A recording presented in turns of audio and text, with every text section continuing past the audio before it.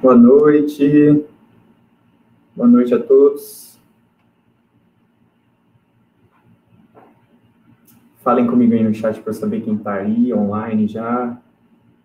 Já, já a gente já já a gente começa.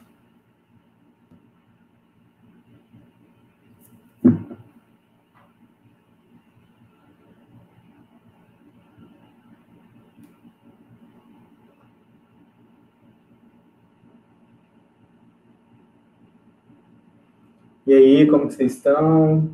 Eu sei que é chato, né, fazer uma aula de sábado, gente. É, é complicado mesmo estar no, no mundo do vestibular, é, cursinho.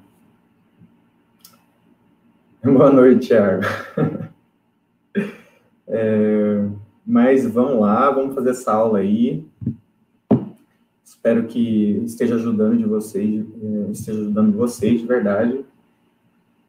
E vamos lá, vamos pegar história da arte aí, vamos dominar na UEL. Tenho certeza que vocês vão, vocês vão conseguir bem. Boa noite, Lorena. Boa noite, Ana.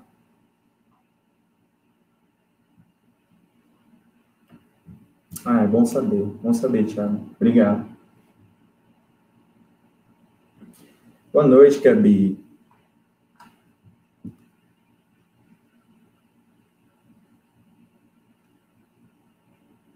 Ó, enquanto o pessoal não chega, então, vou passar é, uns recados.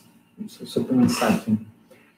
Semana que vem, então, né, nessa essa semana a gente teve duas aulas, certo?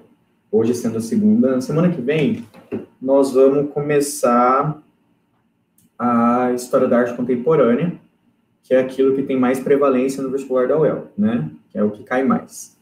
Então, nós vamos ter aí não, desculpa. Desculpa, gente. Boa noite, Milene. É, confundi. Semana que vem, nós vamos ter uma aula só para fechar o modernismo, mas para falar de modernismo no Brasil, tá? É, boa noite, Júlia. E aí nós vamos completar, fechar o modernismo, e depois nós vamos começar, então, de fato, a, a arte contemporânea. Lembrando que algumas coisas de história da arte contemporânea eu já conversei com vocês, né? A gente já falou sobre lei de arte, a gente já falou sobre novo realismo, a gente falou já sobre arte povera, a gente falou um pouco de arte feminista, a gente falou sobre afrofuturismo, uh, e é, nós vimos algumas performances de de artistas contemporâneos, inclusive brasileiros, e nós vimos bastante street art também. Mas eu vou, sim, retomar alguns desses assuntos. Quem não, não lembra, não assistiu essa parte ainda, assista às aulas dicas que estão na, aqui na, na playlist de História da Arte, porque lá vocês vão encontrar esses assuntos que estão é, dentro da História da Arte Contemporânea, tá bom? Nós vamos focar aí na, é, em movimentos que a gente não falou ainda. Então, é, expressionismo abstrato, pop e op art, a arte conceitual, o minimalismo, e aí nós vamos falar de concretismo, neoconcretismo, e happening, intervenção, e algumas performances que eu acho importante vocês saberem para o El, beleza? Então, é isso. Hoje nós fechamos o, as vanguardas europeias, Sexta-feira que vem, agora a gente só vai se encontrar na sexta que vem, e nós vamos ter, então, o modernismo no Brasil, tá? É, descobri o seu canal agora e meu único arrependimento não ter te achado. Oh, muito obrigado, Júlia, de verdade, muito obrigado mesmo. Poxa, é, eu fico muito feliz de ler isso, de verdade. É, é, o meu intuito aqui é só ajudar, só ajudar mesmo. Então, assim, o que eu puder fazer por vocês, comentem aí, me mandem mensagem no, no Insta, eu vou colocar meu Insta aqui, às vezes alguém não conhece, e vocês podem me mandar mensagem lá, eu tenho essas aulas para disponibilizar, não tem problema nenhum disponibilizar, é, não, não tem problema também, eu tenho listas de exercício, posso disponibilizar para vocês também, tá? Então, assim, fique à vontade para me chamar e a gente conversa. Então, ó, 7 e 5 agora, vamos lá. É sábado, não quero ficar prendendo vocês aqui. Então, vamos começar agora. Vou esconder aqui o que eu coloquei, se alguém precisar depois está aí gravado. E naquela, naquela pegada, tá, gente? Vocês vão me, me chamando, qualquer coisa, me, me ajudem a, a ver se está tudo certo. E podem ir me parando.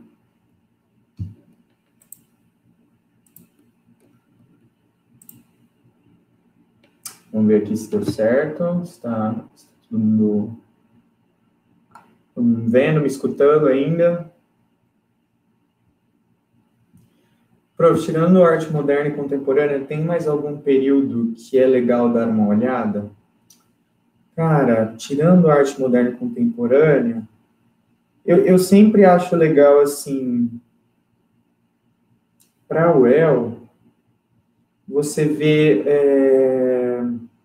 Na verdade, eu focaria em, em fazer exercício, tá? Pegar as provas da UEL passada e fazer exercício, porque assim não tem nenhum outro movimento que seja tão prevalente quanto a arte contemporânea e a arte moderna na UEL. Tá? Essas são as, as duas grandes matérias que a UEL ama cobrar. Agora, quer estudar mais algum movimento? Não sei, talvez os dos séculos XIX, né? É, impressionismo e pós-impressionismo, que são importantes para o desenvolvimento da arte moderna. E assim, a arte brasileira sempre, sempre lembrar dos movimentos na arte brasileira.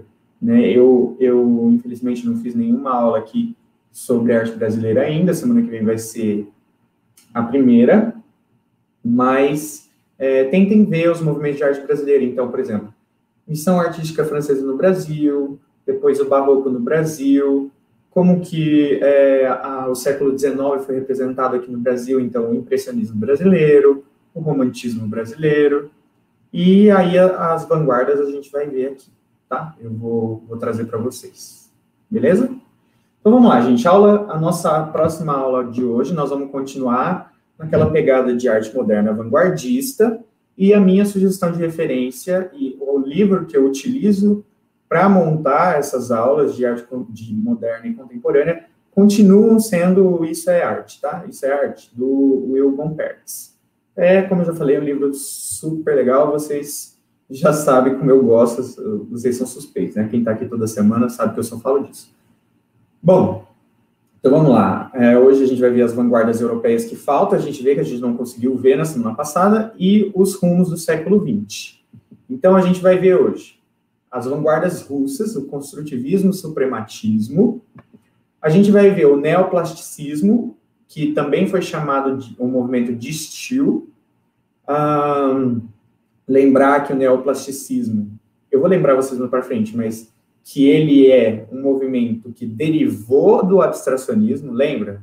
O abstracionismo ele se dividia em dois: o abstracionismo informal e o abstracionismo geométrico. O neoplasticismo é o, é o abstracionismo geométrico. Aí a gente vai ver um pouquinho de Bauhaus, tá? É, depois, o dadaísmo e o surrealismo. Tá bom? Essas, essas são as vanguardas que faltam para a gente fechar uh, a arte moderna europeia. Depois, um pouquinho, a gente vai falar os rumos do século XX que vão ser tomados a partir da, das vanguardas europeias, tá? Então, vamos lá. Vanguardas russas. Vamos sair um pouquinho da Europa e vamos um pouquinho para a Rússia. Por quê? porque lá também vão ser, vão ser desenvolvidas vanguardas que são importantes para todo o desenvolvimento da arte contemporânea que vem depois. Só que, se vocês lembrarem do abstracionismo, as vanguardas russas ficam muito fáceis. Por quê? Eles vão beber da arte abstrata, lembrando que a arte abstrata bebeu do cubismo. Então, se você seguir essa linha de raciocínio, você vai lembrando que a abstração ela vai aumentando conforme passa os anos.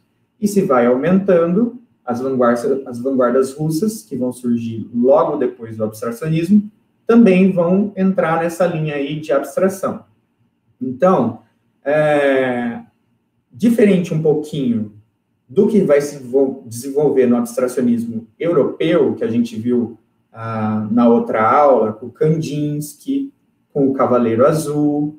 A gente vai falar de uma maneira mais não convencional de se fazer uma abordagem abstrata. Lembra, esses, esses autores e esses grupos que eu acabei de falar, eles faziam uma abordagem abstrata, mas envolvendo a música, certo? Aqui, nas vanguardas russas, não. A gente vai ter o abandono completo é, da noção de um tema físico ou imaginário. Então, nesse sentido, a arte ela vai ficar focada nas propriedades físicas da obra. É bem parecido com o abstracionismo, essa ideia geral. Então, o cor, o tom, o peso, a textura da obra. A obra vai ser o próprio tema da obra. A gente não, não, tem por que ficar fazendo uma análise de obra depois daquela parte descritiva. Sempre, sempre acaba na parte descritiva. Não tem mais o que a gente falar.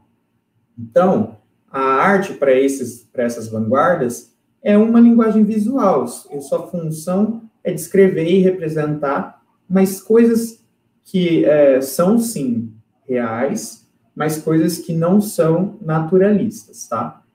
A gente vai ter, de muito importante, que eu quero que vocês guardem, que assim, é, eu mesmo não tive vanguardas russas no, no, meu, no meu cursinho, nem no meu colegial mas elas são importantes justamente pelo ponto que eu vou falar aqui agora, que é esse aqui, ó, reavaliação do papel da arte das expectativas do público, tá? Reavaliação do papel da arte das expectativas do público.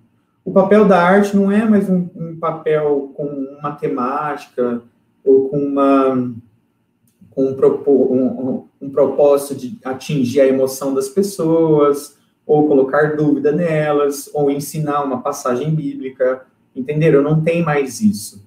E aí, as expectativas do público, elas mudam a partir disso, porque elas chegam na obra, e lembra, lembra do abstracionismo?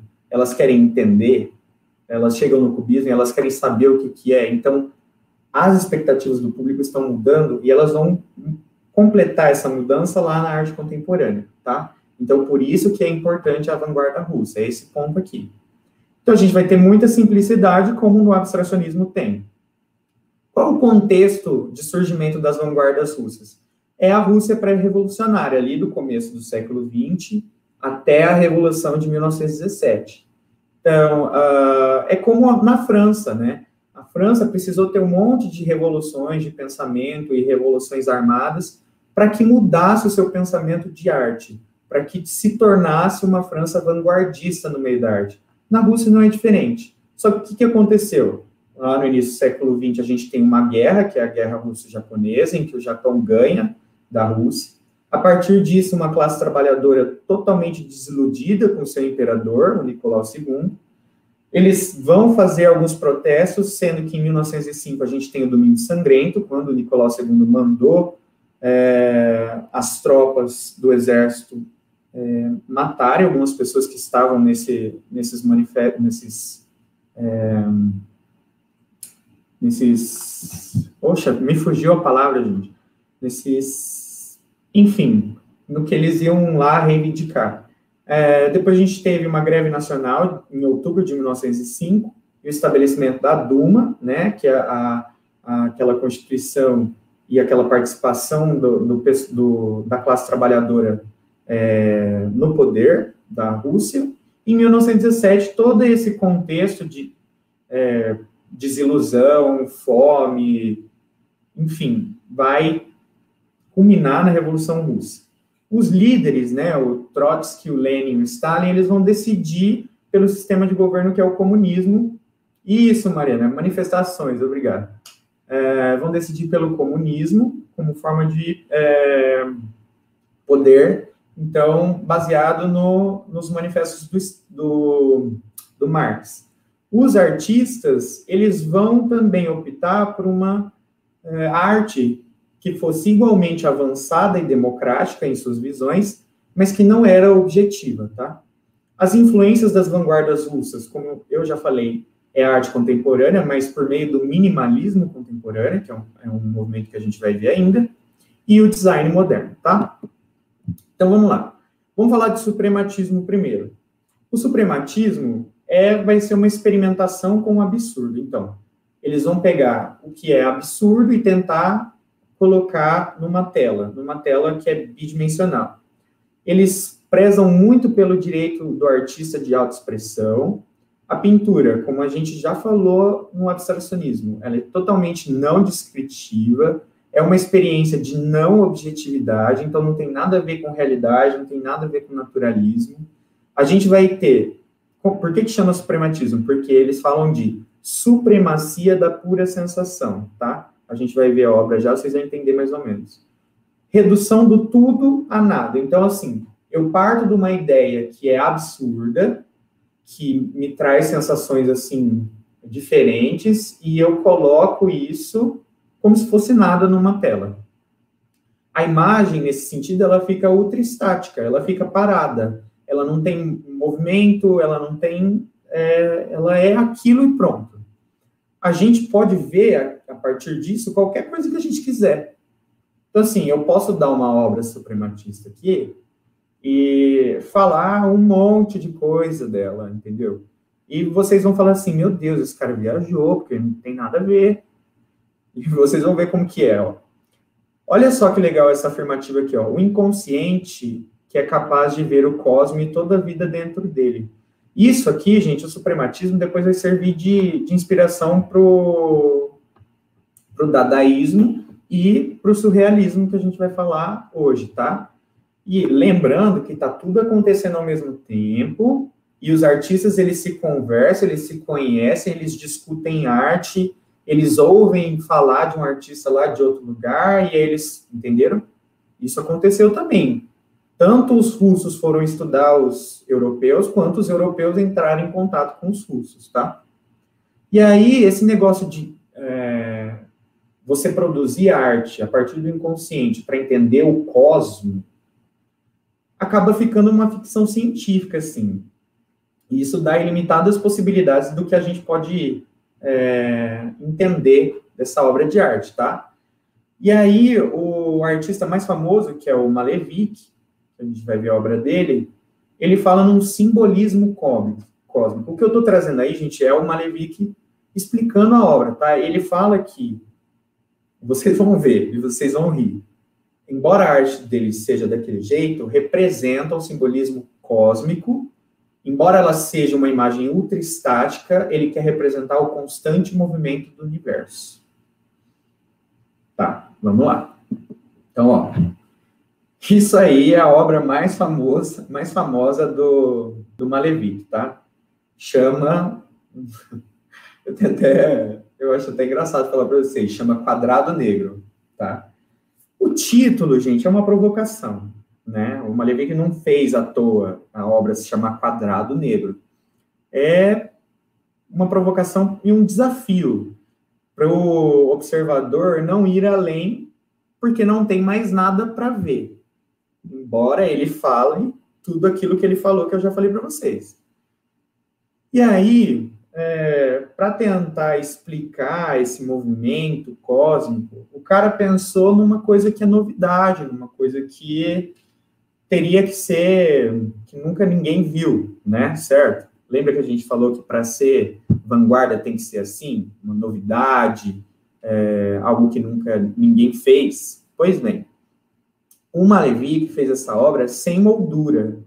E aí ela foi exposta lá no museu pela primeira vez, sem moldura. Então, o branco em volta do quadrado negro, que também é tinta a óleo, ele se confunde com a parede do museu. Isso dá a entender para o Malevich, tá, que a obra dele demonstra que não há limites terrestres, né, para a arte. E que a arte, assim, representa uma infinitude. E uma infinitude do espaço, do cosmos, da vida, então, o quadrado negro, ele fica, parece, dá a impressão que ele está flutuando no espaço, tá? Ele está flutuando lá na parede. E uh, isso, para o Malevich, é, ao mesmo tempo, ao mesmo tempo que, como descrição, gente, é, é um quadrado negro e para por aí, tanto pelo nome quanto pelo que a gente vê, dá para a gente fazer essa essa viagem justamente pela falta de moldura no quadro. Ninguém tinha feito isso, tá? E aí o, o quadro parece mais uma pintura de parede do que uma própria obra, tá? E o construtivismo? E o construtivismo? Ah, uma coisa, esse negócio de ficção científica, gente, remete também ao que a gente tinha falado na outra aula, tá? Na outra aula a gente tinha falado dos avanços científicos, lembra que a Revolução Industrial e o Iluminismo tinham promovido, então a gente tem a relatividade do Einstein, um monte de gente construindo coisas novas. E aí no início do século XX tem esse, esse ideal de ficção científica de que o ser humano vai alcançar coisas absurdas, nós vamos conseguir sair da Terra. Ninguém, ninguém imaginava naquela época ainda é, o homem pisando na Lua, tá? É início do século XX, não tem corrida espacial ainda. Então, o, Malevich pega essa, esse anseio pelo avanço da tecnologia da ciência, ele tenta demonstrar isso a partir de um quadrado, uma arte abstrata, tá? O construtivismo já é um pouquinho diferente, tá? Tanto é que os construtivistas, eles não gostavam muito do, do Malevich, e é, vocês vão ver como é, é interessante, ó. O que eles faziam, eles chamavam de factura, que são esculturas construídas, só que sem aqueles, uh, sem aqueles materiais que sempre os homens utilizaram para escultura. Então, bronze, a gente tinha a gente tinha pedra, né? Então, não vão utilizar essas, essas, esses materiais que são sublimes, assim, esses materiais que são mais, uh, mais chiques, vamos dizer.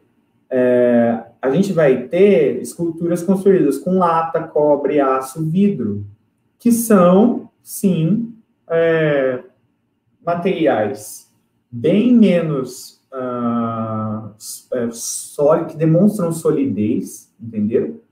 e que vão representar o futuro da era industrial que os bolcheviques estão trazendo com a Revolução de 1917.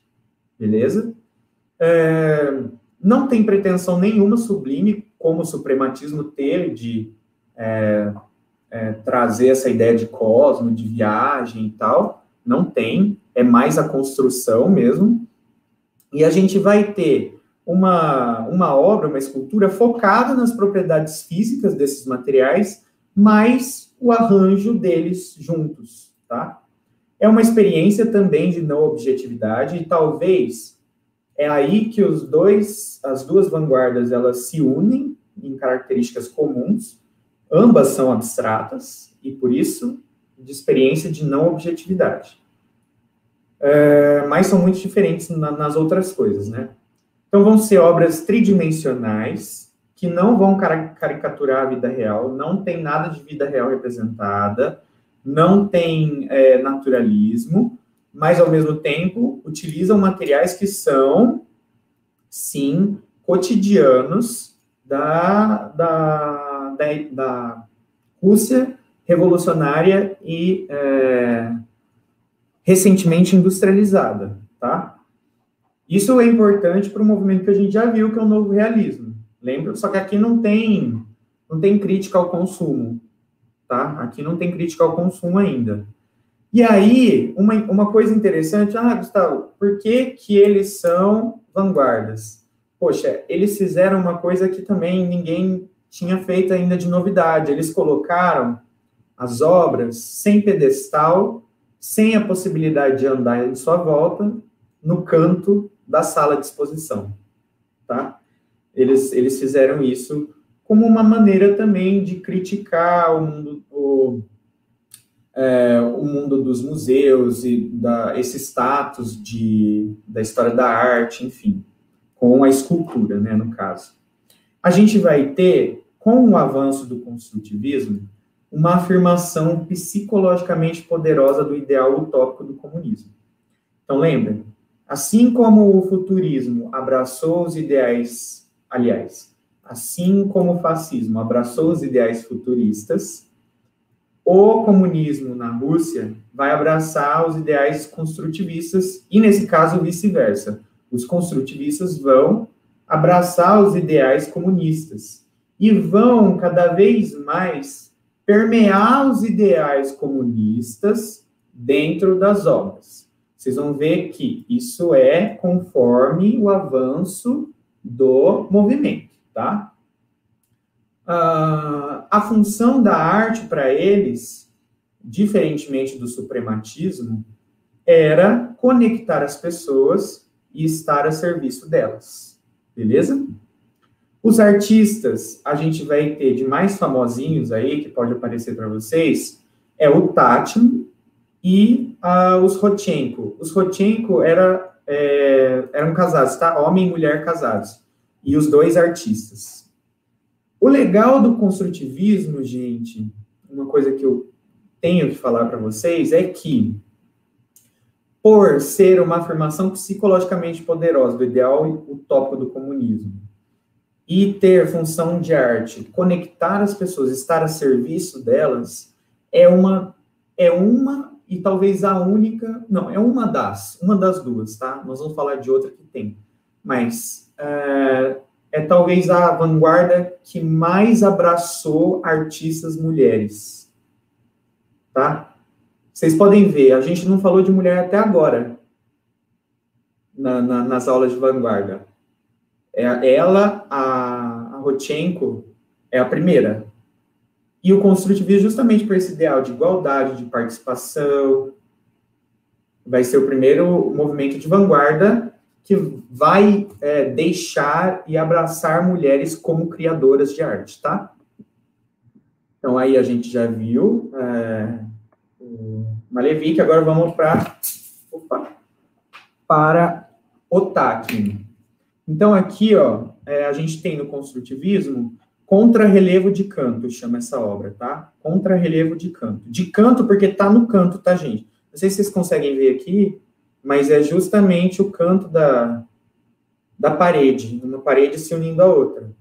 E aí, essa, essa escultura está unindo as duas paredes com fios de aço, né? A gente tem madeira, então aí, uh, muito é, materiais muito cotidianos da, da Rússia industrial, o ferro também, então, a gente vai ter, com o Tatlin, justamente a reinvenção de noção de escultura. E isso talvez seja o que o construtivismo russo tenha trazido de mais importante para a arte contemporânea. Porque aí os escultores, os de arte contemporânea, por exemplo, os construtivistas, é, ou, desculpa, os concretistas, os neoconcretistas, que vão fazer esculturas. É, poxa, a gente falou de arte cinética, né? do, do Palatinic. Olha isso aqui. Isso aqui não se mexe, tá? É totalmente parado. Mas se não fosse talvez o Tatlin, não existisse arte cinética. Não existisse uma escultura tão diferente. Por isso é importante, tá? A gente vai ter uma escultura, então, que revoga o desafio do espaço, né? É, aliás, revoga e desafia o espaço. Revoga e desafia o espaço. Então, ela está aí unindo duas paredes, ela é tridimensional e revoga o espaço, porque você não pode ver o que tem atrás, mas atrás também é arte ainda. Mas quem está na exposição não consegue ver, tá? É por isso que o construtivismo, quem fazia construtivismo na Rússia naquela época, vai ser cham chamado também de engenheiro artista, tá? O Tatlin, inclusive, conforme os bolcheviques foram avançando no poder, ele queria fazer uma torre meio parecida com a Torre Eiffel, que seria maior que a Torre Eiffel, mas infelizmente não saiu do, do, do projeto, tá? E aí a gente tem o avanço do construtivismo. Aqui já é do Rotchenko, tá? Do Rotchenko, uh, o homem, no caso, tá? Então aí chama cor vermelha, gente, é é bobo, mas chama assim o quadro, tá? Cor vermelha pura, cor azul pura e cor amarela pura. Ou o Rotchenko chamou também de a morte da pintura. O que eu acho muito curioso, porque assim, se a gente pegasse um artista de cada movimento anterior da vanguarda construtivista e esse, artista olhasse para essa obra, tirando os abstratos, tá? Tirando Kandinsky, por exemplo, que ele ia amar, é, eles falariam assim, realmente é a morte da pintura. A pintura não vai avançar mais, chegou no seu limite, porque são três cores primárias, uma do lado do outro, separados por uma tela branca. Não tem nada, gente, são só as três cores. Não tem o que sair daí. Então, assim, é como se a gente tivesse sensação, aliás, a gente não. Quem estava lá vivendo isso, a apresentação, vocês imaginam? Eu, eu gosto que vocês imaginem o seguinte: vocês sendo uma pessoa, um russo, de 1905, mais ou menos, e vocês, 1905, 1917, enfim, é, e vocês indo lá, ah, comprei um ingresso numa exposição hoje à noite, vamos, vamos. Você vai lá com seu namorado, sua namorada, muito bonitinhos, verem uma exposição de arte russa. E aí vocês se deparam com isso aí. O que vocês pensariam? Realmente, tudo terminou. É, tudo terminou, acabou a pintura. Não vai se desenvolver mais. O, é, os, os, estudiosos de arte da época diriam que o, o Rotchenko realmente matou a pintura. Matou. Ele colocou três cores diferentes e está chamando de arte tá? E para nós, olha só como para nós, 120 anos depois, já mudou. Mudou muito. Se não fosse isso, o conceitualismo e o minimalismo não teriam se desenvolvidos. Pensem, pensem. Então a gente tem aí um monocromatismo totalmente num plano sem representação nenhuma, tá? O construtivismo foi evoluindo, lembra? Então, a gente passou de escultura para uma pintura mais abstrata, e aí ele evoluiu um pouquinho mais uh, para uh, esse artista que eu nem escrevi lá, eu esqueci, mas que é o Lissetsky, tá? Olha aí, é, escreveram, parece algo feito pelo Mondrian. Verdade, parece muito feito pelo Mondrian. E nós vamos falar de Mondrian hoje ainda, tá? É o próximo, nós já vamos falar dele. Vocês vão ver como é parecido, e ela tem razão. Ó, essa obra aqui chama Derrote os Brancos com a Cunha Vermelha. Então, aqui, a, o construtivismo já tem mais aquela pegada, do finalzinho que eu falei com vocês, da arte sendo meio propaganda. Então, da arte é, avançando e colocando os ideais do comunismo dentro da obra, tá? E por quê? Aqui a gente já chama de construtivismo produtivista. Então é muito parecido com design. É muito parecido com cartaz e um design, mas é óleo sobre tela, tá? É, e lógico, vai ser utilizado para promover a propaganda bolchevista, na época, bolchevique, contra os mencheviques, tá certo? Então, derrote os brancos com a cunha vermelha, lembra? Dessa, da, da cor, o exército vermelho, o exército branco. Então, é justamente aí é, sendo propagada a, essa ideia dos bolcheviques, do comunismo bolchevique. E aí, gente, a gente tem muita alusão aqui à arte abstrata, justamente é, ao abstracionismo geométrico que eu vou falar para vocês agora. É, a gente não tem influência da música aqui, certo, com, com Kandinsky, mas a gente tem influências é, da arte abstrata e também do cubismo, as formas, tá certo? é, em disposição meio aleatórias. Não tem, se a gente não tivesse a, as letras, lembra? As letras que o Picasso e o Braque inventaram de colocar na obra, talvez a gente não entendesse, tá certo? Então, tudo isso, os, uh, o pessoal, os artistas russos estão bebendo dos europeus. Depois, os europeus vão beber dos uh, russos, tá? E legal, gente, uma coisa que eu queria falar para vocês é que o construtivismo russo é para a Rússia o que foi o romantismo brasileiro na arte para o Brasil. Então, é aquela tentativa de construir uma imagem utópica de algo que está acontecendo. Na época do romantismo no Brasil, o Vitor Meirelles, por exemplo, a gente, o Pedro Américo, a gente tem a tentativa de criação de um Estado nacional idealizado, uma história idealizada, tá certo? Lembrem disso. O construtivismo para a Rússia vai tentar a mesma coisa, tá? Só que para o comunismo e para a Rússia mais democrática, libertária, enfim. E aí eu trouxe uma curiosidade para vocês. Já na década de 1930, quando a gente já tem União Soviética, a, o construtivismo, que era já já tinha se, é, se colocado como é, não arte oficial, mas a mais é, benquista pelos russos na época, ele vai se desenvolver de novo, mas aí ele vai romper com o que ele tinha feito antes. Então, assim, isso de técnica. Antes, o construtivismo ele era totalmente abstrato. E agora vai surgir um movimento de arte na Rússia que se opõe à técnica construtivista, então é bem mais naturalista, é realista, tá? Representa uma realidade, tá certo? E mas vai pegar um conceito do construtivismo, que é justamente o de propaganda do Estado. Só que nessa época a gente já tem a União Soviética, Stalin, é, é, a, a gente indo para a Segunda Guerra, e aí é, a gente vai precisar de propaganda de Estado, porque vocês lembram, né? Totalitarismo se faz com propaganda de Estado, com certeza.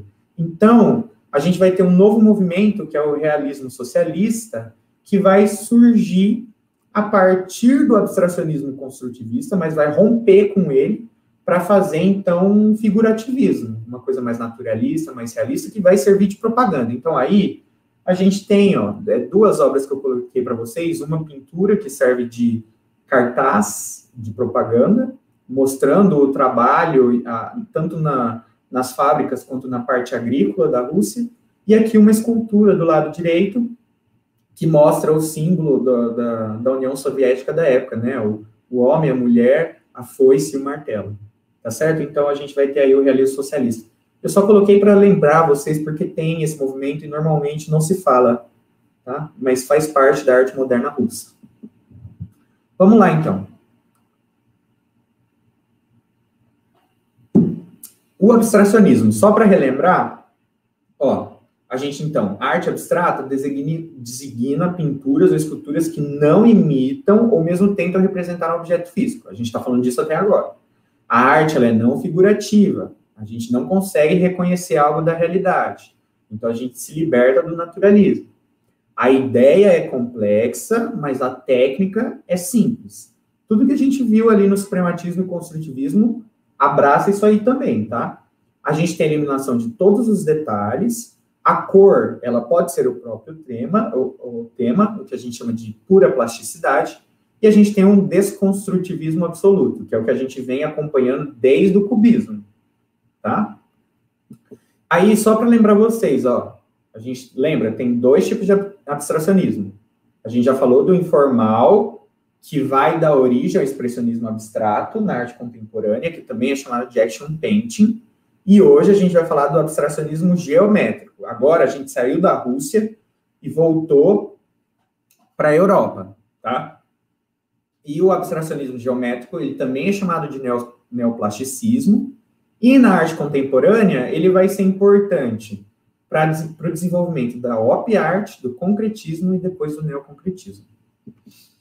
Então, o abstracionismo, o neoplasticismo, ele é o geométrico, né, o abstracionismo geométrico, a gente vai ter eliminação de detalhes, as, é, expressa relações plasticamente por meio de oposições de cor e linha. Então, assim, querem alguma coisa para lembrar de abstracionismo geométrico? é cor e linha. Lá no abstracionismo é, informal, a gente tinha é, coisas mais aleatórias, mais relacionadas com a música, o movimento e a harmonia da música. Aqui não. É cor e linha. A gente tem um abandono total do naturalismo, já falamos isso. É, é uma arte pós-Primeira Guerra, tá? Então, há um desejo dos artistas de expressar de maneira plástica o que todos têm em comum, em vez daquilo que os separa. Então a gente utiliza as coisas mais simples, cor, forma, linha, espaço. Todo mundo tem sim uma cor que pode ser diferente, mas tem cor, tem forma, tem linha, tem espaço. É, são coisas simples e os artistas desse movimento querem mostrar isso, querem mostrar que é, nós, nós, nós não somos individuais, nós temos que pensar no coletivo para que uma para que uma guerra como a que aconteceu não aconteça mais. Pegaram mais ou menos a ideia? A cor, ela é limitada. Só o abstracionismo não utiliza todas as cores, só são as primárias, vermelho, azul e amarelo. E as linhas? O professor tem é, é, diagonal? Não tem, só são linhas horizontais e verticais. Tá? Então, aí, coisas para vocês conseguirem diferenciar o abstracionismo informal do geométrico, tá? As composições, elas são assimétricas, o que, o que quer dizer que é, vão ter formas geométricas maiores que a outras, às vezes mais linhas, às vezes menos linhas, às vezes mais linhas verticais, às vezes mais horizontais. Então, por isso são assimétricas. Isso dá uma impressão de movimento, o que os artistas neoplásticos vão chamar de equilíbrio dinâmico e também de harmonia transcendental. Isso são eles falando. Então, para eles, menos é mais. A arte, ela, como ela está reduzida ao máximo, ela seria indestrutível, portanto, irredutível, pura e virtuosa. Justamente para derrotar a supremacia do individual que veio até agora com uh, os ideais iluministas que deram errado, lembra, por causa da guerra. E aí vai ter uma revista importante para esse movimento, que vão ser, vai ser criada justamente pelos artistas do neoplasticismo, que é a revista de Estígio. A, a revista de Estígio, ela, ela demonstrou, foi criada e demonstrou o manifesto do neoplasticismo em 1918 e foi publicado em quatro línguas, gente, o que demonstra que os artistas ele, eles queriam uma unidade internacional da, da né, na vida, na cultura e na arte. Eles queriam que o neoplasticismo se espalhasse para que o individualismo nunca mais voltasse a fazer o que fez que a, é, o que fez a Primeira Guerra, né? Então, o artista mais famoso é o Pierre Mondrian, é um holandês. É, holandês, lembrar do Van Gogh, ele vai beber do Van Gogh também, tá? Nós vamos ver já. Então, aí, ó, quem tinha falado do Mondrian, ele apareceu agora. Então, a primeira obra do Mondrian, a mais famosa, é composição C, ou composição número 3. Então, aí a gente tem justamente tudo que eu falei agora. É arte abstrata, é arte pela arte, é só isso. Então, a gente tem uma tela branca, ela é dividida em linhas horizontais, uma linha, uma linha vertical, desculpa, é, tem outras menores embaixo, isso vai dividindo os planos da obra, e linhas é, horizontais também. As três cores representadas são as três primárias, vermelho, azul e amarelo, então, sim, é uma arte é, do neoplasticismo, é uma arte abstracionista, é, no caso, geométrica, beleza? Então, é isso, gente, é isso. Eles querem ser o mais simples possível, e o Mondrian faz essa arte e vira uma, uma das obras mais famosas da, do século XX. E aí, ó, ó, a influência do Van Gogh aí. Lembra que a gente sempre vê um artista é, produzindo durante sua vida e como ele muda o seu jeito de pintar? Então, com o Piet Mondrian aconteceu isso também. Então, aí é ele no começo da sua carreira, em 1908, tá? Essa obra chama Árvore Vermelha, e vocês podem ver como tem influência do Van Gogh aqui. Eu não preciso nem falar. Tem muita influência impressionista, pós-impressionismo, o traçado do Van Gogh está aqui, e assim, é uma da, das primeiras obras do Pierre Mondrian. Mas ele avançou. Em 1912, ele fez Árvore Cinzenta.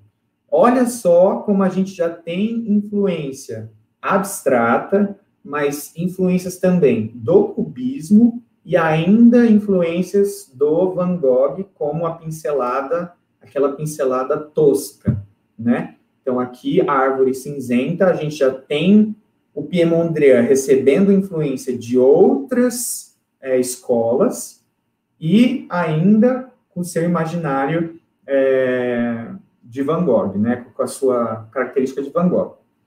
ele avançou ainda mais, ó. Em 1912 ainda, ele fez Macieira em Flor. E aí, olha só como aqui já não tem mais Van Gogh nenhum e ficam mesmo a, as influências do cubismo e do próprio abstracionismo. Então, a gente tem, é, não tem detalhe nenhum, só tem formas elípticas representadas, e se não fosse o nome da obra, nós não entenderíamos, tá certo? Nós não conseguiríamos saber o que é. Isso é importante, lembra? Se a gente faz isso e vê, entende pelo nome, ou é cubista ou é arte abstrata. E aí, o Mondrian está é, mostrando para a gente a influência dos dois movimentos. E, por fim, em 1917, ele faz o quadro número 2, também chamado de composição número 7, que aí a gente já tem é, o abstracionismo geométrico, o neoplasticismo em sua total é, é, manifestação. Então, a gente tem fragmentação, a gente tem é, é, quadrados, retângulos flutuando no espaço, a gente tem formas naturais totalmente erradicadas, e a gente tem, é, a gente tem as características que a gente viu do abstracionismo geométrico, tá? Não, não é abstracionismo é, informal, por quê? Porque não tem aquela relação com música, com é, movimento, que a gente falou na, na aula passada, tá? Então, é, é arte abstrata, é uma evolução das árvores que o, que o Piemondria fez. A gente só, só sabe disso porque ele falou, tá? E porque estudaram isso, então a gente só sabe disso porque foi estudado antes e, ele mesmo falou. Então, isso aqui representaria uma árvore, tá? Mas a gente não pode falar, tá bom? A gente não pode falar, é composição, é, quadro número 2 ou composição número 7, então aí a, a evolução do Mondrian no abstracionismo, e no caso, abstracionismo geométrico.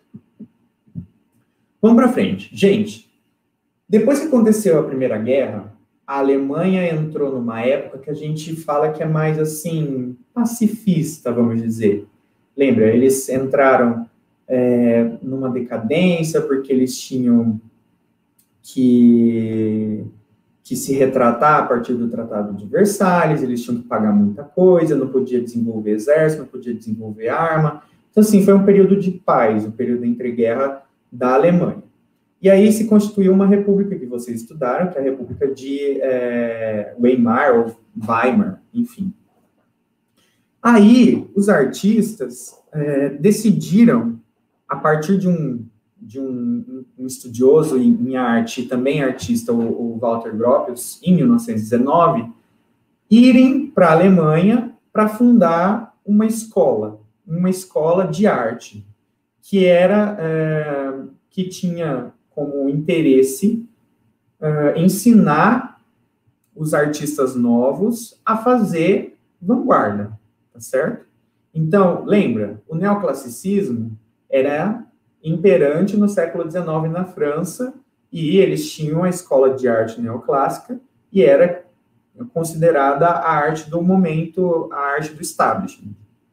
Aqui, eles vão criar uma escola de arte na Alemanha com a reunião de alguns artistas de diferentes vanguardas, justamente para ensinar a vanguarda. Para eles, eles queriam é, construir intelectuais modernos sem a política de produção em massa, que estava em alta por causa da industrialização, certo? Era uma educação, eles queriam, na teoria, uma educação democrática baseada nos ofícios dos artesãos. Então, assim, era bem como era feito na Idade Média os alunos eles iam para as aulas e eles aprendiam é, conforme é, é, conforme os artesãos. Então tinha o professor, né, o professor de arte, e eles iam aprender artesanato e eles iam subindo de nível de artesão até eles serem formados como um artista. A arte superior para essa escola era a arquitetura. Então, eles falam assim que o fim, o fim supremo de toda atividade criativa é a construção. Então, eles admiravam muito a arquitetura, não tanto as artes plásticas. Tanto é que Bauhaus, Bauhaus significa casa de construção, ou casa para construção, e vai ter influências depois, como o Lincoln Center, que foi construído nos Estados Unidos. As características de arte que essa escola pregava eram estruturas geométricas gigantescas e o revestimento de concreto. Aí, gente, é, para os artistas, eles estão naquela pegada de uma oportunidade de um novo recomeço, porque é, a, a, a, guerra acabou com tudo, desiludiu todo mundo, o projeto iluminista deu errado, então vamos tentar reunir os intelectuais ou os artistas é, mais novos e fazer a cabeça deles para que eles produzam uma arte mais é, democrática, uma arte, é, enfim, que, que, que, leve o ideal imaginativo a, ao não individualismo, tá? Para que a guerra não aconteça de novo. E ela, essa escola, que foi uma reunião de escolas, na verdade, ela contou com artistas abstracionismo, é, abstracionistas, por exemplo, o Kandinsky, alguns participantes do neoplasticismo, mas o Pierre Mondrian não participou, o próprio Malevich, do suprematismo russo, e os Rodchenko, do construtivismo russo também. Em 1937, com a, a Segunda Guerra em avanço, eles também, a Bauhaus foi proibida juntamente com o expressionismo. Lembra, o expressionismo foi considerado por Hitler arte degenerada. E os, os, os é, componentes da Bauhaus também. Então a escola precisou fechar. E aí é interessante, gente, porque justamente com o fechamento, os artistas eles falam: para onde que nós vamos agora? Nós vamos para a França, mas a França está em guerra. Nós vamos para a Inglaterra, mas a Inglaterra está em guerra vamos zarpar para os Estados Unidos.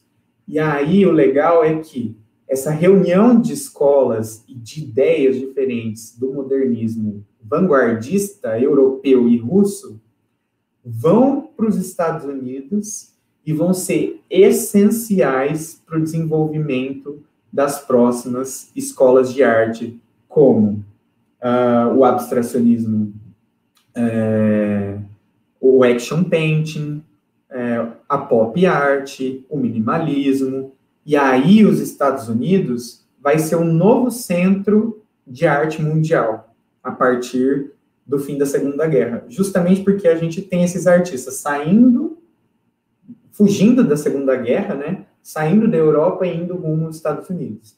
Então, os Estados Unidos vai ser um novo centro de arte, é, e aí vai desenvolver toda a arte contemporânea que nós vamos falar nas próximas aulas.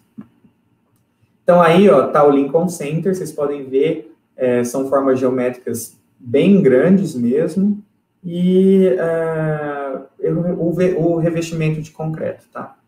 Então aí, a Bauhaus é só para vocês saberem que existiu. Dadaísmo, o reinado da anarquia. Então vamos lá.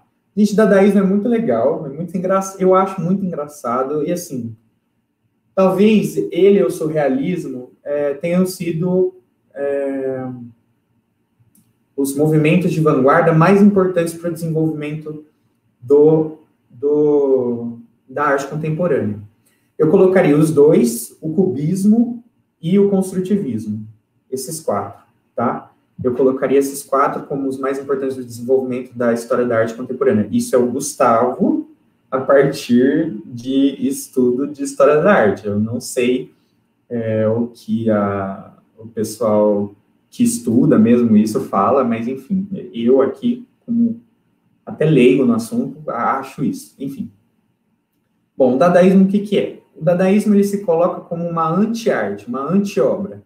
Então ele, ele não se considera um movimento de arte, na verdade é um anti-movimento. Ele é contrário a tudo, gente. Ele é contrário ao status elevado das galerias e dos museus. Ele é contrário ao establishment de, de de arte, ele é contrário à, à razão, à lógica, às regras, à, à tecnologia, ao avanço industrial das nações, à Primeira Grande Guerra, as consequências da Primeira Grande Guerra, eles são contra tudo, tá? Uh, Para eles, esse establishment, então, tinha uma excessiva confiança no que o iluminismo teve. Só que como deu errado, a alternativa é fazer o quê? Uma arte que seja o contrário, irracional, ilógica e desordenada. O dadaísmo ele começou é, a partir de um clube, um, um clube de artes lá na Suíça, em 1916, que foi chamado de Cabaré Voltaire. Olha só, justamente o, o nome escolhido para o cabaré que daria origem aos ideais dadaístas. Voltaire. Não é à toa, tá, gente? Voltaire foi um dos maiores nomes do iluminismo. Eles queriam é, criticar, zoar mesmo, tá? Então, eles negavam e criticavam também os, os próprios movimentos de vanguarda, por exemplo, os, os futuristas, tá? Eles criticavam. Para eles, os futuristas estavam doidinhos da cabeça. Eles vão questionar o saber convencional e uh, o dadaísmo em si, então, vai surgir lá no, no Cabaré Voltaire por meio de um poeta, o Tristan Tzara, que vai publicar o Manifesto Dada. Uh, para ele e para os dadaístas, havia sentido na falta de sentido. E, gente, isso me lembra muito, de novo, é, o, o, Drummond, depois que ele passa é, da Segunda Guerra, o que ele vai escrever, é, que ele não consegue mais ter uma esperança na humanidade, ele não consegue mais ver sentido na humanidade. E os dadaístas estão assim. Ele, ele, Para eles não tem mais sentido. Já na Primeira Guerra, hein? eles não sabiam da Segunda. Aí, é, muito, muitos poetas, a literatura vai se desenvolver também no dadaísmo, e aí eles vão é, priorizar o acaso. Então, por exemplo, para fazer um poema dadaísta, isso meu professor de literatura sempre falava, eu achava massa, eles pegavam o jornal, recortavam várias palavras, picavam, colocavam no saco, chacoalhavam o saco, tiravam a palavra e colocavam e começavam a montar o poema assim. Depois eles iam lá no, no, no Cabaré Voltaire e é, encenavam, enfim, é, falavam a poesia, recitavam a poesia para quem estivesse lá. Então era mais ou menos assim. Aí, o que vem desse acaso? De que a arte pode ser feita com qualquer coisa, e qualquer coisa pode ser arte. Gente, isso vai fazer total diferença para a arte contemporânea, para o desenvolvimento da arte até hoje. Lembra que a gente viu a diva da Juliana Notari? A gente fala, ai, aquilo lá é um bucetão, aquilo lá não é arte, aquilo lá é perversidade, como, onde já se viu uma, uma ferida aberta de concreto na, na Serra do Pernambuco, aquilo não é arte, aquilo é depravação. E os, lembram do, do, do Museu de Arte lá de Porto Alegre, esses tempos atrás, acho que foi em 2018, se não me engano, que fez uma exposição maravilhosa é, do, do Bradesco e foi totalmente criticado. Gente, se os dadaístas estivessem aqui hoje, eles falariam: Meu Deus, não adiantou nada a gente fazer. Tudo que a gente fez não adiantou nada. Porque é isso. A arte pode ser feita com qualquer coisa e qualquer coisa pode ser arte. Lembra? A primeira aula eu falei isso, na primeira aula, porque é a definição de arte. É qualquer coisa feita pelo ser humano a partir de uma ideia. Tá certo? Uh, ah, Para eles conseguirem fazer tudo isso, lógico, tem que ter subversão e tem que ter anarquia. São dois componentes que, se faltar, não dá para fazer dadaísmo. E aí, o interessante é que eles vão começar a fazer é, o que a gente chama hoje de ready-mades, tá? Feitos prontos. Então, é a utilização de objetos pré-existentes, tornando-os inúteis, ou seja, transformando-os em obra. Então, é, esse livro, ele foi feito sim por um ser humano, ou por mais que um, enfim.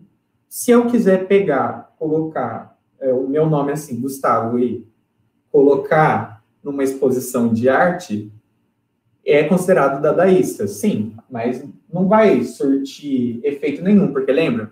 Tem que ser algo novo, tem que ser algo inovador, tem que ser algo que ninguém nunca viu. E naquela época, os dadaístas estavam fazendo algo totalmente novo, eu já vou mostrar para vocês.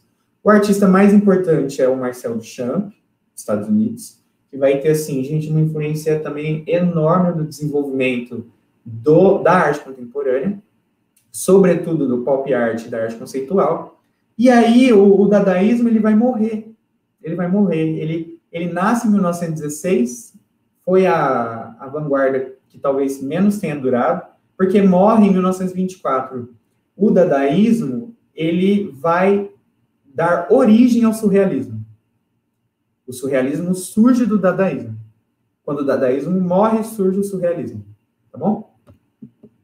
Então, é aqui a primeira, o primeiro meme da aula, então hoje eu acordei da Daísta, responsável pelo que eu digo e não pelo que você entende, tá?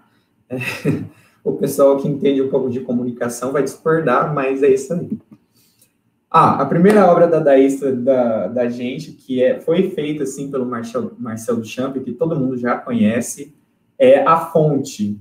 Então, gente, ele pegou um objeto pré-existente, que é um mictório branco, ele foi lá em 1917 e expôs no museu, tá certo? E foi assim, uma, uma loucura, uma loucura real. Ninguém acreditava, ninguém entendia, e era, e era justamente, é, é um ready-made, né? É, ele quis zombar com o mundo pomposo da arte, então aquela ideia de que por que que um por que, que um neoclássico é arte, ou por que, que um impressionista é arte, ou por que, que um, mesmo um cubismo de Picasso é arte, e um mictório não. Eu tô, eu tá, eu tirei ele da sua função real, tornei inútil e expus como arte. E é isso. Essa é a minha obra. Aí ele assina, né, é, é, R. Muti, que é um pseudônimo, 1917, e na obra, não dá para ver aí, mas está escrito from R. Muti, tá? Então, vinda, vindo de R. Muti. E não tá by R. Muti. Normalmente os, os autores, eles escrevem by, né? By, feita por. Feita por R. Muti. Agora, o... Uh, o... O caramba. o, o Duchamp, ele escreve from R. Muth, ou seja, a ideia veio dele, mas ele não fez. Entenderam? É justamente isso. Hum, lógico, cabe aos artistas decidir o que é arte não, e não os museus, as galerias, os estudiosos em arte. Então, se um artista diz que aquilo é arte, quem é você para falar que não é? Tá? Essa é a primeira vez que essa ideia aparece. Eu sei que parece bobo eu falar isso hoje, né? Mas lá, em 1917, foi a primeira vez. Então, a arte, ela está na ideia, nessa ideia de subversão, de quebra do que é, é establishment, e não no objeto em si, tá? Vamos ver que tem uma perguntinha aqui. Tem uma questão na hora de 2009 que falava da influência do Andy Warhol sobre a formação dele com o Bauhaus, mas não vi uma relação direta entre as obras do Andy e o Bauhaus. Como podemos ver melhor esse movimento em outros artistas?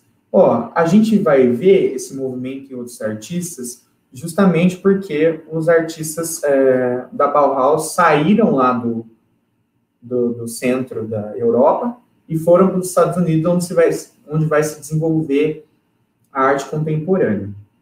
Mas a Bauhaus, a gente pode pensar, vamos lá, vamos lá uma reunião de escolas, né? Por quê? É, por que, que poderia ser um, uma influência para o Andy Warhol? Justamente porque é, a gente vai ter, não na arquitetura, tá? Mas artistas que pertencem a muitos, uh, muitos movimentos, como está embaixo, que eu estou mostrando para vocês, que fazem parte do abstracionismo. E o abstracionismo é fundamental para o desenvolvimento da arte contemporânea. Eu vou mostrar para vocês nas próximas aulas, é que vocês, é, é, eu não vou conseguir mostrar agora, mas a, ó, a pop art, eu não sei se vamos ver se eu Não, deixa quieto, deixa quieto. Ó, eu, eu só vou falar para vocês aqui, vocês confiem em mim. Do neoplasticismo vão surgir dois movimentos diretamente, tá?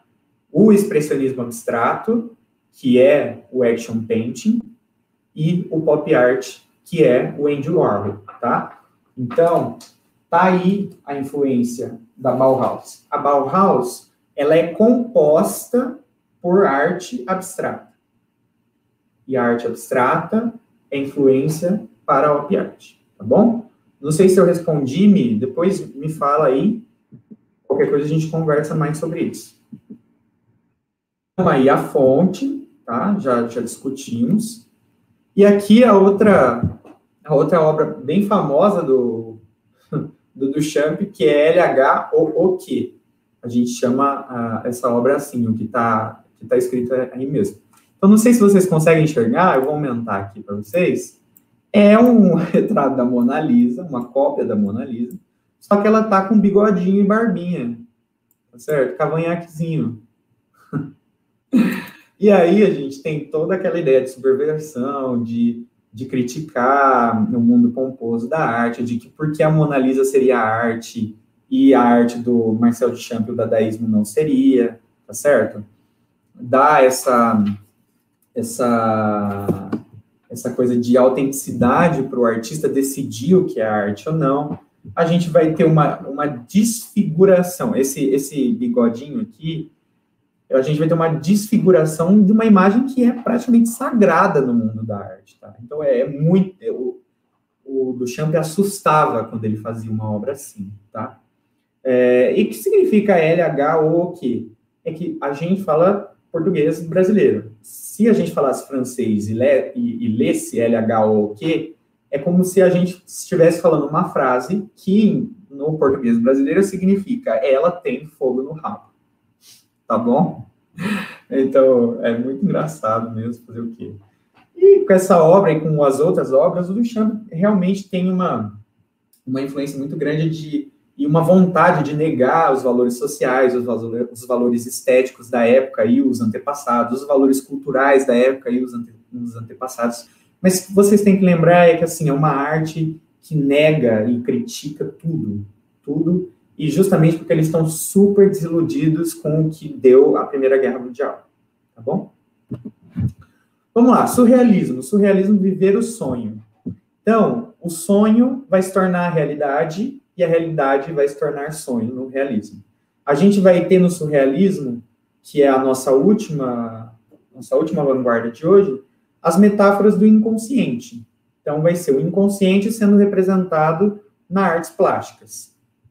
A gente vai ter locais macabros, viagens místicas, uma sensação esquisita. Quando você olha uma obra surrealista, você tem uma sensação esquisita por quê? Porque é uma realidade impossível e o seu cérebro entende, o seu consciente entende que aquilo é impossível de acontecer, tá? Então a gente precisa, para entender o surrealismo, de uma ausência de razão. Tanto o autor precisa para fazer, quanto o observador precisa para entender.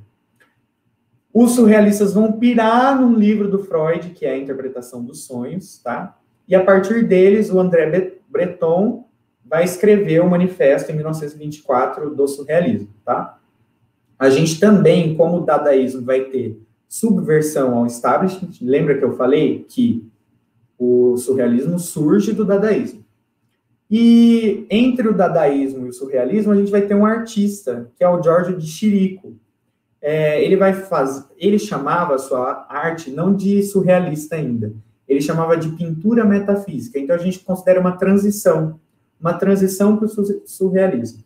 E o que, que ele faz nessa pintura metafísica? Meramente associação em comum de objetos imprevistos. Olha só, quer ver? Aí está uma pintura metafísica do George Chirico, que é uma das mais famosas. Gente, ele, ele sempre pega elementos da artes clássicas e junta com elementos que não tem nada a ver. Então aqui a gente tem uma escultura que é considerada clássica, assim, anatomicamente, é bastante é, sólida, né? Traz essa, essa questão de solidez da anatomia, parece bastante renascentista, né? E aí a gente tem um cacho de banana aqui do lado. E aí, o que será, né? Então, assim, é a pintura metafísica é isso. E sempre tem essa cor, esse ambiente meio esquisito, a gente tem um trem lá atrás, e essa associação incoerente de coisas que, quando o observador vai é, com a sua racionalidade, ele veio e fala, mas, poxa, por que, que tem um, um cacho de banana perto de uma escultura renascentista, uma escultura clássica? Vocês entenderam isso? Tá, então aí o George Chirico já foi. O surrealismo, ele vai ser mais ou menos, vai acontecer com o surrealismo mais ou menos o que aconteceu no abstracionismo e mais ou menos o que aconteceu no cubismo, lembra? Cada um desses, uh, desses movimentos, ele se subdivide em duas duas áreas, se subdivide em duas, é, dois outros movimentos dentro do próprio movimento. Peraí, que o Thiago está perguntando aqui. Pro, estado era a ordem iluminista que vigorava na época? Sim, ainda vigorava a ordem iluminista, sim. Mas aqui é, a gente já tem, eu, eu, não diria mais iluminista, tão iluminista, assim. Que a Primeira Guerra veio para acabar mesmo com o ideal iluminista. Talvez estivesse sim um ideal iluminista, mas a gente já tem um ideal capitalista mas daquele capitalismo do século XX começando a imperar, sabe? De relação, tipo, o que importa mais para o homem é a relação comercial, é, a, é o consumo, tá? A gente vai ter mais esse establishment regido pelo, pelo consumismo, pelo capitalismo, tá? Então, no surrealismo, continuando, a gente vai ter duas vertentes também o automatismo e o onirismo. Eu quero que você lembre duas coisas. No automatismo, é a obra que é inconsciente. A obra é inconsciente. No onirismo, o tema é inconsciente. Então, no automatismo, você vê, você fala, ah, não tem nada a ver. No onirismo, você vê, você entende o que, que tem ali. Você entende o que, que tem. Mas é o tema que é inconsciente. Então, por exemplo, eu quis falar de um sonho que eu tive, eu quis falar de uma fantasia minha. É como se eu tirasse foto de um sonho, tá? No automatismo, não. A ausência de razão não está no tema. Não é tipo assim, eu tive um sonho que eu vi você em cima de um elefante cruzando a água e o elefante começou a voar. Aí eu acordei e pintei isso. O automatismo, isso é onirismo. O automatismo não. O automatismo é assim: o autor, por exemplo, o João Miró, ah, eu tô com muito sono, não vou dormir. Eu tô com muita fome, não vou comer. Aí, a hora que ele chegar ao máximo desse, desse, dessa ausência de razão, que a, a fome ou o sono são tantos que ele não consegue mais pensar com o consciente, ou seja, ele chegou ao inconsciente, ele pinta. Olha que louco, né? E é por isso que as obras do automatismo são técnicas aleatórias para representar elementos do, do consciente. E automatismo por quê? Porque é uma pintura automática, tá? A gente vai ver já, ó. Então, só o meme aqui, o surrealismo, é bem isso, tá, gente? Essa aeronave irá afundar dentro de instantes, porque as lagostas da minha mãe foram demitidas dois meses atrás e eu tenho medo de aranhas. Fez, fez sentido algum? Não fez sentido nenhum. Se fez sentido para alguém, a gente conversa depois. Mas não era para fazer sentido. Então, uh, o surrealismo é isso, tá? Aqui o Jorge Chirico a gente já viu, pintura metafísica, passamos. E aqui o Jean Miró, no automatismo, tá? Então, vocês podem... Gente, tem de tudo aí.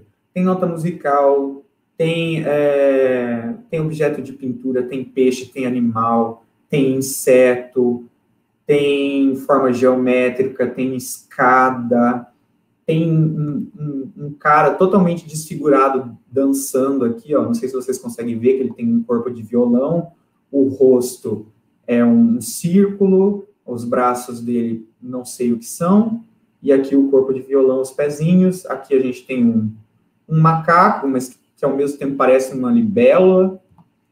É, vocês estão, vocês estão vendo? É o, é o processo de se fazer a obra, a obra é inconsciente. O processo criativo nos leva à inconsciência, tá? Ou à inconsciência, melhor. A inconsciência leva ao processo criativo.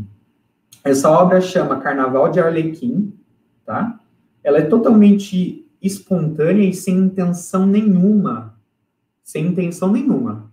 É justamente assim, o João estava passando fome, ou estava morrendo de sono, num, num tanto que ele não conseguia é, esperar mais, aí ele foi lá e pintou. É isso, tá? É... Beleza. É um estado... Qual o nome da parte que você retira esses memes? Puxa, é uma... É uma é uma página da, de arte do Facebook, se eu não me engano, chama é, Artes Depressão, alguma coisa assim, tá, Mariana? Então, a gente fala que o João Miró e os automatistas, que são surrealistas, eles, eles precisam de uma espécie de transe, para fazer as obras, tá? E essas, essa transe deles, eles conseguem com fome, sono, são exemplos. E aqui a gente já tem representação do onirismo, que é o nosso famoso Salvador Dali. O Salvador Dali fez então essa obra que chama Persistência da Memória. Aqui, gente, não é um pato, tá? É um rosto, é um olho. Vocês têm que olhar assim. Vocês conseguem ver que é um olho aqui, tá? Os relógios derretendo, essa obra chama então a persistência da memória. A gente tem anamorfoses é, dos relógios e do rosto. A gente tem o derretimento, no caso, significa relatividade pro Salvador Dali. E assim, realmente parece que o Salvador Dali acordou, acordou de um sonho e foi pintar, tá bom? É, então é isso. Aqui, mais uma vez, talvez apareça mais ainda com sonho, todos esses animais com pernas gigantescas carregando coisas que são impossíveis. É impossível. Você você olha e tem a sensação de que, poxa, mas isso é impossível de acontecer. Por que, que ele pintou? Tá? Além do mais, tem uma cena bíblica aqui, no, no canto inferior então é a junção de coisas também que não fazem sentido, mas o onirismo é isso, é mais a representação do sonho, não é, é, é uma fotografia do sonho, não tem a ver com o processo criativo ser inconsciente. A gente tem ainda aqui mais uma, do Dali, é, o ovo representando renascimento, né, o ovo sendo o mapa mundi, essas pessoas, uh, um, um, homem saindo do mundo. Eu, eu não fico muito nas interpretações, é porque, assim, é, é, é muito de vocês. O surrealismo é muito, muito pessoal. Ah, eu quero usar o surrealismo numa redação? Tudo bem, ok. Você, você pode dar uma interpretação, sim. Sempre lembrando de relativizar e não falar que foi o Salvador Dali que falou, tá? Porque, na verdade, ele não queria falar nada. É um sonho. É um sonho representado, tá bom? Aqui mais uma do Dali, que chama Sono. Como podem ver, totalmente onírica. Não representa a realidade. E aqui o Magritte. O Magritte também foi um onirista, tá? Um surrealista, mas fazia parte do onirismo. Então, essa obra chama Traição das Imagens, é, e justamente representa a traição de uma imagem. O que está escrito na frase é: Isso não é um cachimbo. Então, o que, que ele quer dizer com a traição das imagens? Que o que está aí na nossa frente é a representação de um cachimbo, não um cachimbo. Isso dá margem para o artista falar o que ele quiser e fazer o que ele quiser com arte. Porque a arte é dele. E se ele quiser falar que isso não é um cachimbo, ele pode falar, porque é a representação de um cachimbo.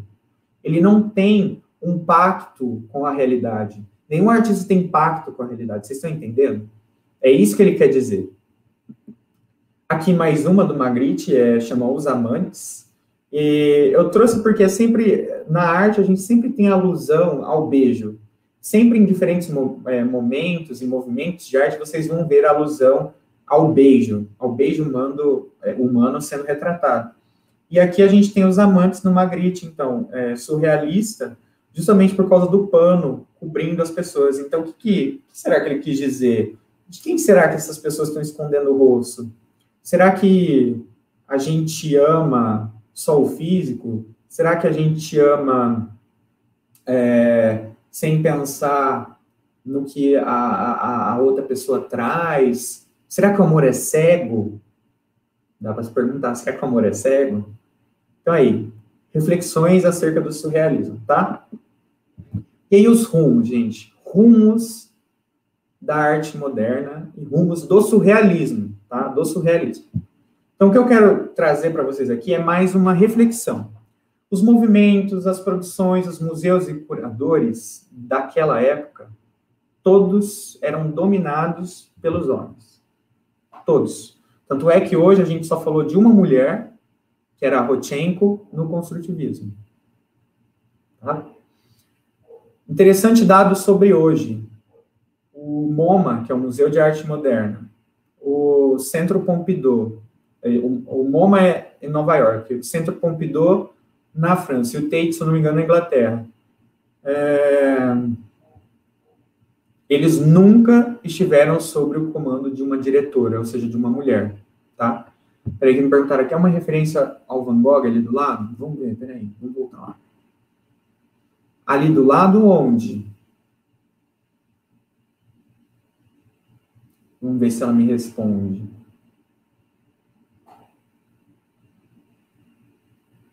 Aqui do lado você fala?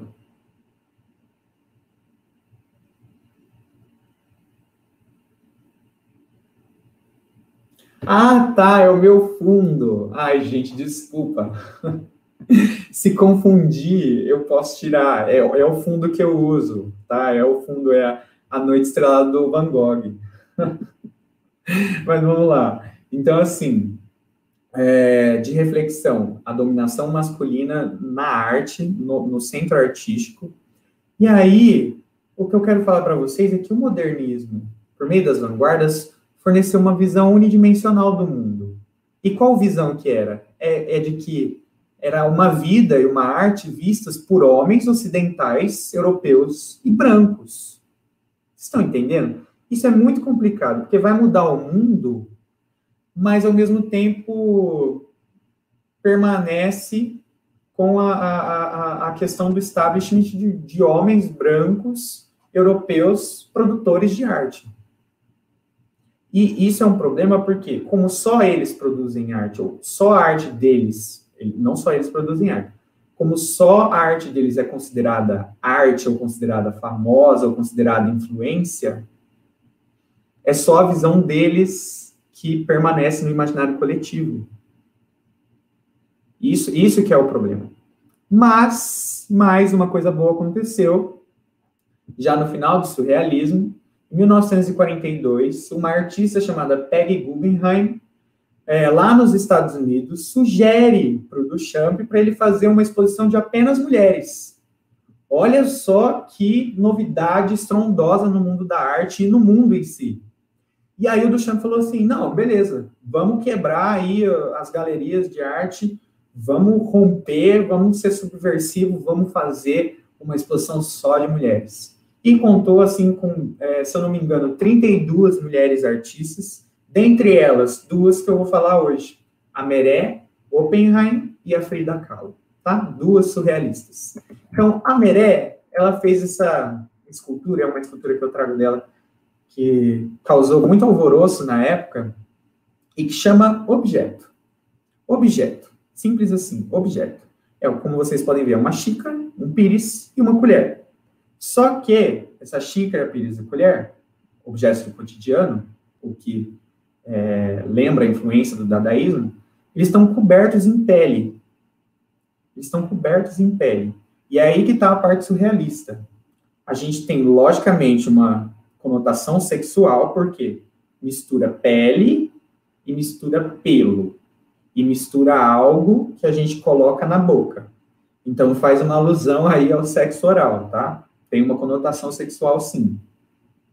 E aí, o que era para se passar uma sensação de relaxamento, que, por exemplo, um chá da cinco, um cafezinho, bem tranquilo, na verdade parece meio nojento, porque vocês, vocês tentem imaginar colocando isso na boca.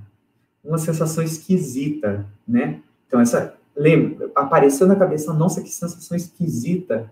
Surrealismo, tá? É, e aí a gente tem também uma crítica, uma crítica ao establishment, uma crítica à burguesia. Por quê? Porque a burguesia, olha que legal essa, essa obra, para quando vocês forem falar de, por exemplo, é, consumismo de carne, ecologia, é, forem falar também de, como que eu posso dizer, maus tratos aos animais, ou utilização de animais para avanço na medicina e outras ciências. Tudo dá para usar essa obra de arte. Por quê? Enquanto os burgueses, os ricos, estão bem tranquilos lá na cafeteria, tomando seu cafezinho tranquilos, o seu chá das cinco, tem um monte de é, animais morrendo, tá certo? Para que eles possam consumir esses animais, tá? Então, olha que legal o que uma mulher nos Estados Unidos, em 1942, durante a Segunda Guerra Mundial, conseguiu fazer expondo uma arte surrealista. E foi assim com a Frida Kahlo. A Frida Kahlo fez muito altos retratos, tá? A vida dela é extremamente difícil, muito, muito triste. Eu compararia com a vida do Van Gogh, mas talvez a dela tenha sido mais difícil por ser uma mulher artista no México no século XX. Ela foi reconhecida em vida, sim, tá? É, o, o Duchamp, inclusive, chamava ela de surrealista, mas ela não aceitava, não, viu? Ela não, não se achava surrealista. Ela estava mais preocupada em ser caracterizada como uma artista, é, da, uma artista mexicana. Ela era mexicana, tá? Ela, ela, gente, olha que interessante. Ela é uma estudante de medicina e ela sofreu um acidente, é, uma colisão do, de um bondinho e ela fraturou. Ela fraturou costela, ela fraturou coluna, ela fraturou ossos do membro superior, e isso mudou totalmente a vida dela. Ela já tinha sofrido de poliomielite, e ela sofreu esse acidente, e assim, uma, uma condições de vida é, pioraram muito para ela. Ela desistiu da medicina, decidiu se tornar uma artista, e pintava, quando, quando eu trouxe para vocês dos, os artistas enclausurados naquela arte de, aquela aula de arte pandemia, eu trouxe a Frida Kahlo, justamente por acidente. Ela, ela estava enclausurada por causa assim, ela não conseguia se mover, então ela pintava do próprio quarto, tá? Ela pintou muitos autorretratos, então aí um autorretrato dela, né? Sempre muito assim, sempre esquisitos e, portanto, podemos considerar surrealistas, mas muito, muito tristes, sempre com representações do corpo, das dores, do sofrimento que ela passou, tá? Uh, lembrar que ela foi casada com o Diego Rivera, que era um cara assim que fazia murais imensos nessa época. Só que o casamento deles também foi muito difícil. Ele era um mulherengo, é, não falando que ela não traiu também, mas ele traiu a Frida com a própria irmã dela. Ela o traiu com o Trotsky, quando o Trotsky estava refugiado do, do Stalin no México, a Frida deu umas namoradinhas nele também. Tá? Mas isso não é importante, se só fofoca, como diz a Joyce, é, minha professora de História da Arte, é fofoca histórica. Então, as obras dela, ó, totalmente surrealistas, tá? É, tem, tem, é ambi, ambientalizada no México, tá? Porque ela está vivendo a Revolução Mexicana ali, da, do Emiliano Zapata, do Pancho Villa, tá? É na mesma época que está acontecendo.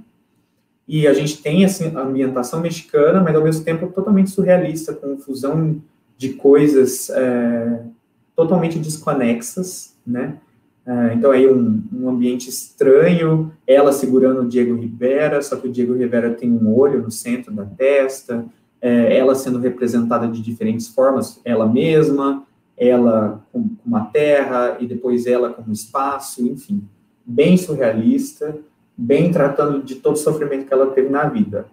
Aí essa obra que eu acho muito interessante, né, ela, ela representando a fratura que ela teve na coluna, vocês podem ver, eu vou aumentar aqui para vocês, ela ela está chorando, ó, e ela está toda cheia de pregos, Tá?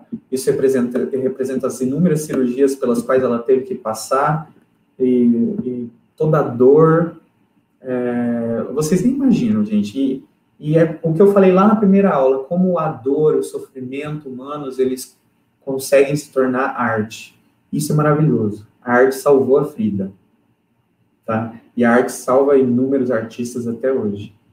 Uh, aqui é ela, ó, uma foto dela dela pintando no, no seu próprio quarto, enquanto ela estava acamada, tá?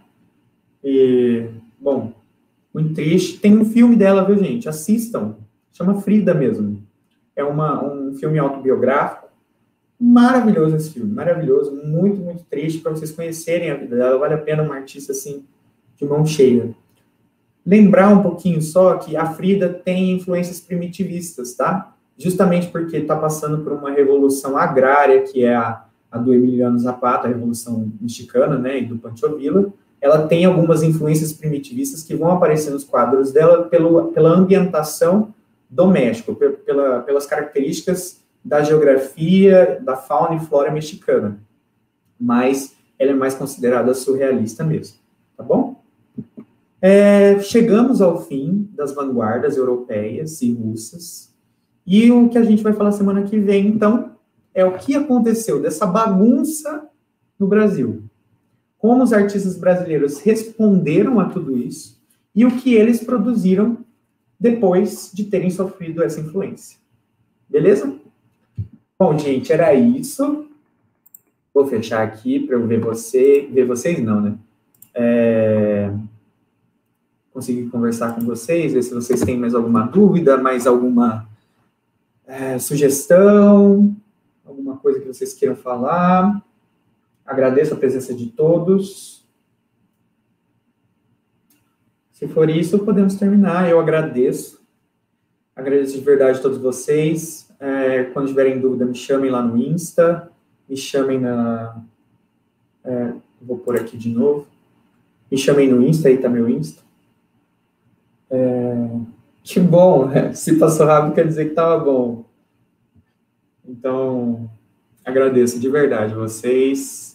Obrigado, Ana. Obrigado mesmo. Obrigado por todos que vocês que ficaram aí até o fim. Obrigado, Tiago. Uh, obrigado, eu, Gabi. espero que vocês tenham uma boa noite também. E vamos em frente, tá? Até sexta-feira que vem. Vejo vocês. Obrigado, Ana. Até semana que vem. Beijão.